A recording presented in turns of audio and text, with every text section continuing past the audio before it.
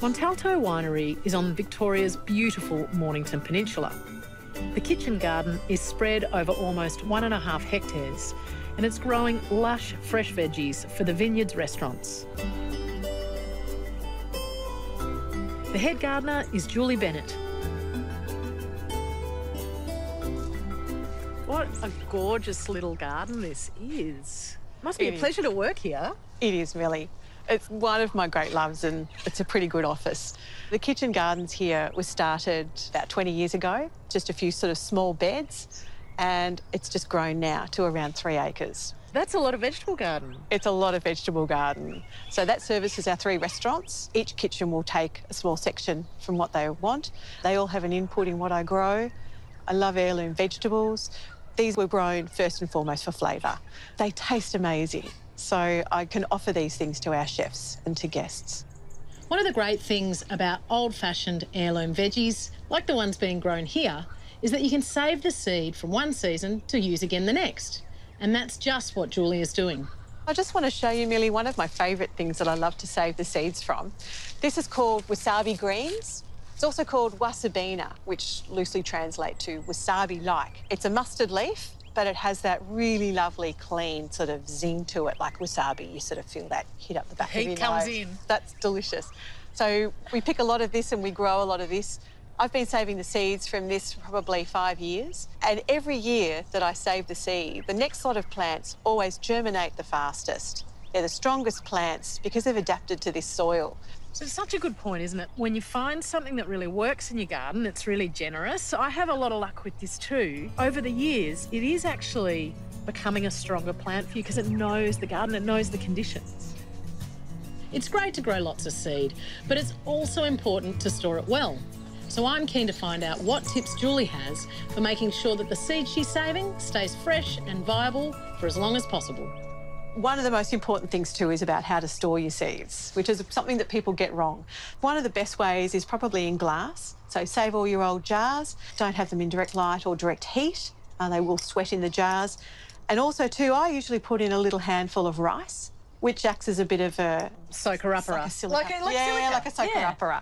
So that'll also take away a little bit of that moisture and keep them nice and fresh. So cool, dry, out of the light. Definitely. Julie has always saved seed for next season's crops, but when COVID hit, Julie decided to take this a step further. everyone was panic buying.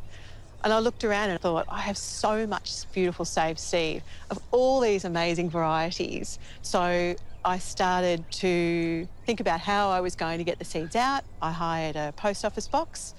I put out a post on websites and social media saying, I have an idea. I'd love to share heirloom seeds with people. All you need to do is send me a stamped self addressed envelope. I'll send out seasonal specific seeds so people can grow them straight away. They don't have to put them in a drawer and wait for the right season.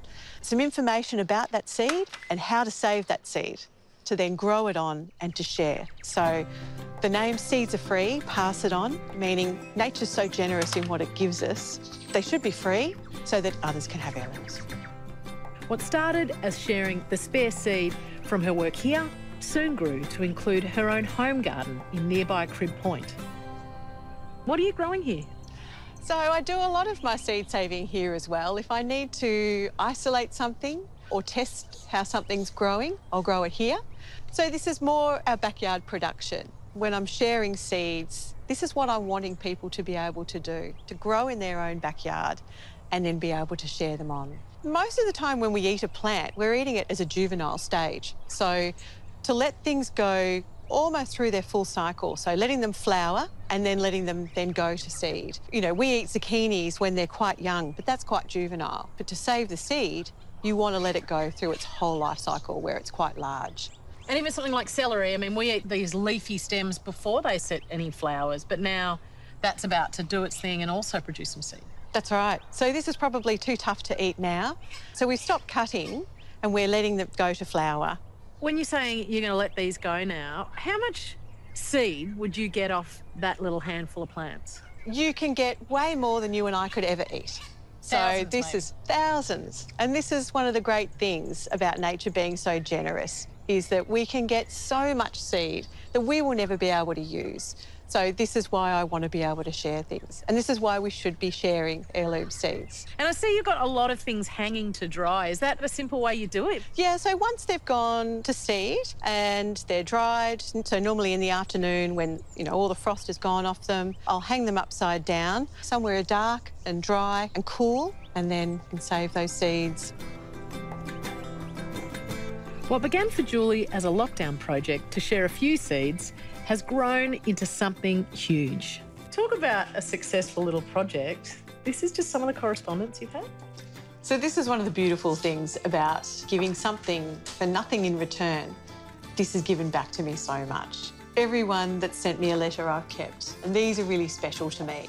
In a time when, you know, the, the art of writing a letter is really dying, it's lovely to get these letters from all ages, from young children that are wanting to grow something in their backyard, to older people who'd thought they'd lost that art of maybe growing something in their backyard. It's just been beautiful.